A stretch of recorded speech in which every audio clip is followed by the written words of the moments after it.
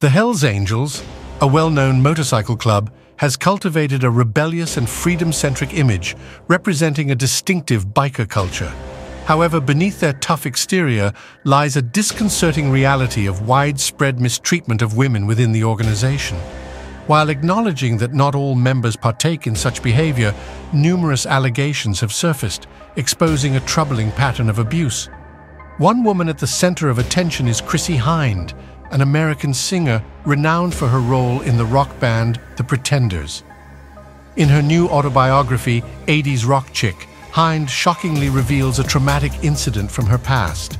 At the age of 21, she was raped by a group of Hells Angels bikers.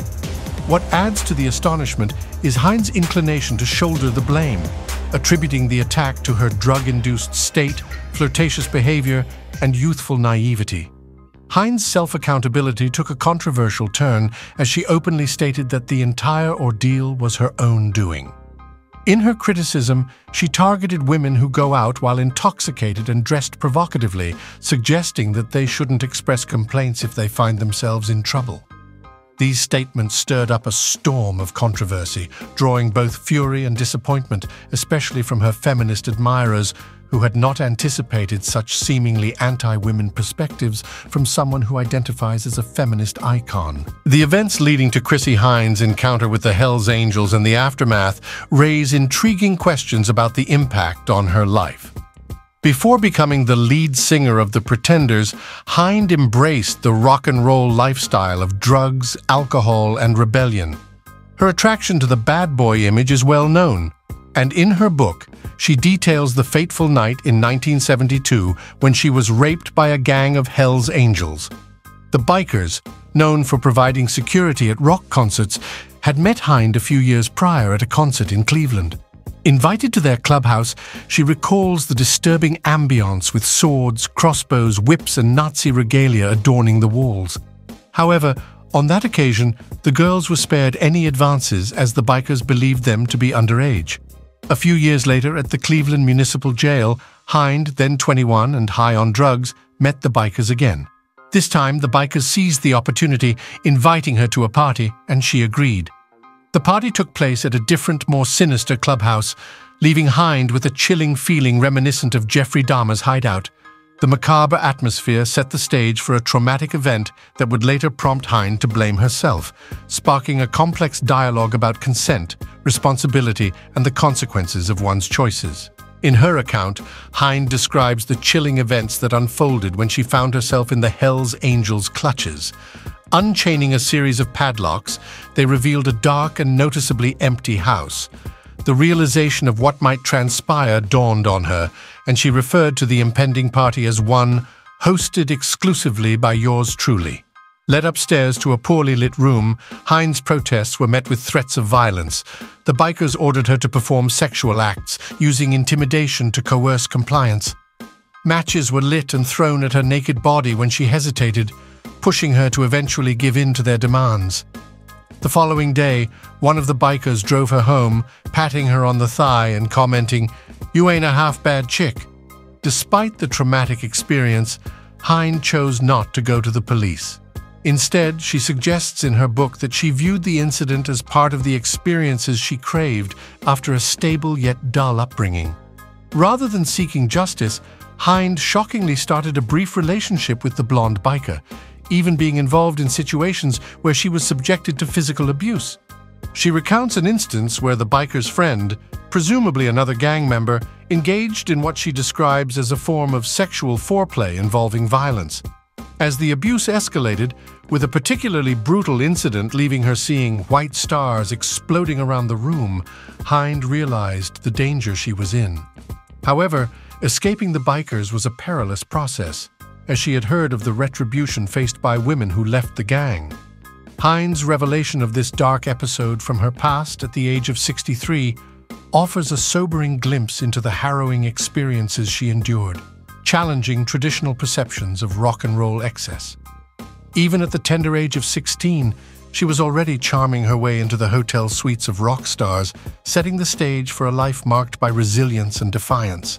The narrative continues with Rod Stewart and Ronnie Wood being among the first to catch Hynde's attention during their tour with the Jeff Beck Group.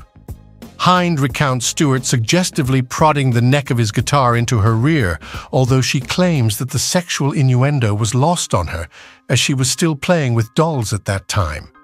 Instead of pursuing further advances, they ended up getting stoned and playing silly word games.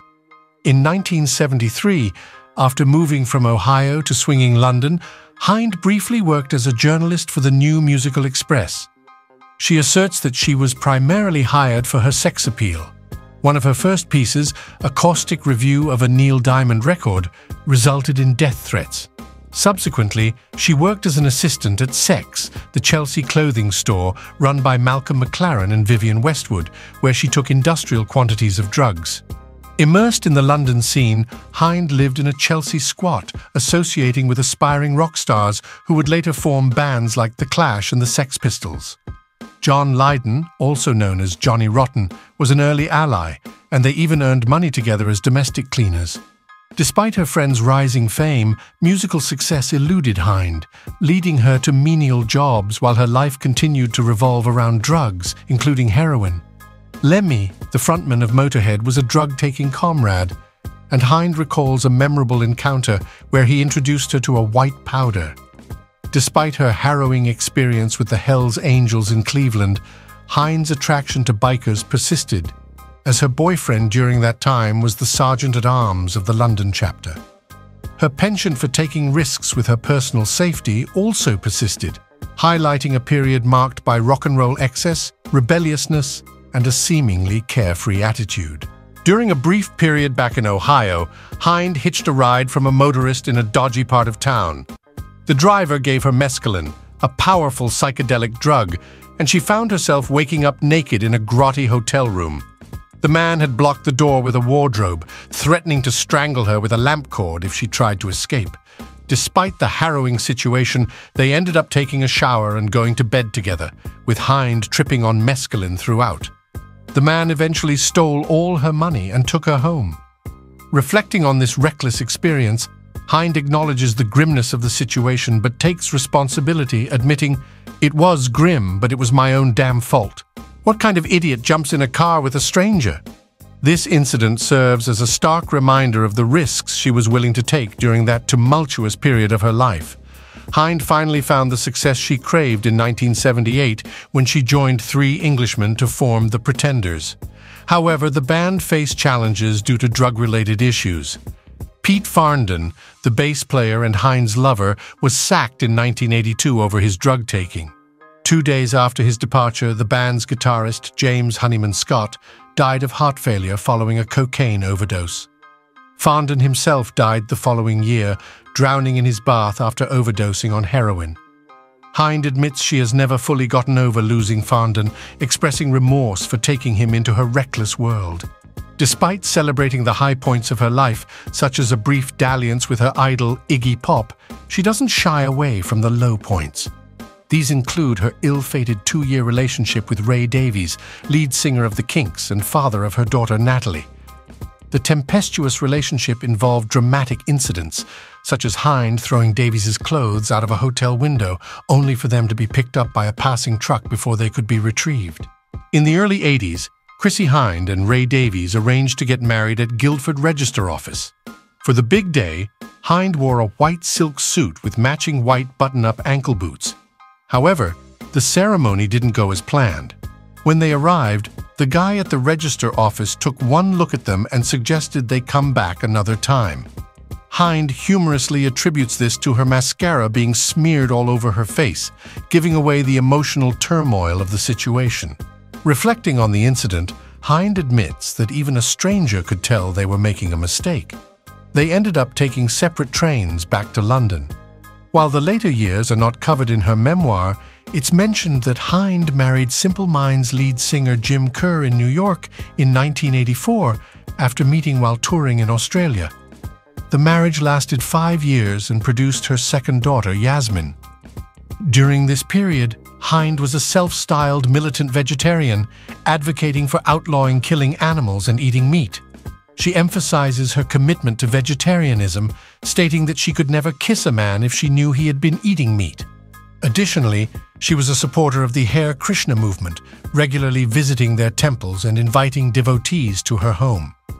Hynde's decision to put her life down on paper was influenced by her old friend John McEnroe. Whenever he played at Wimbledon, he would contact her for a hangout knowing she had pot. While she acknowledges her past involvement with drugs, she makes it clear in her book that she is not celebrating drug use. Many of her hard-living friends are prematurely dead, leading her to distance herself from the glamorization of rock and roll excess. In the concluding remarks of her memoir, Hynde asserts a blunt and battle-hardened view that drugs only cause suffering, emphasizing a cautionary stance against their use. She also touches on her uncompromising views on rape, which may challenge the perspectives of her liberal admirers. The video concludes by inviting comments and opinions on Chrissie Hynde's story and whether she is to blame for the events described.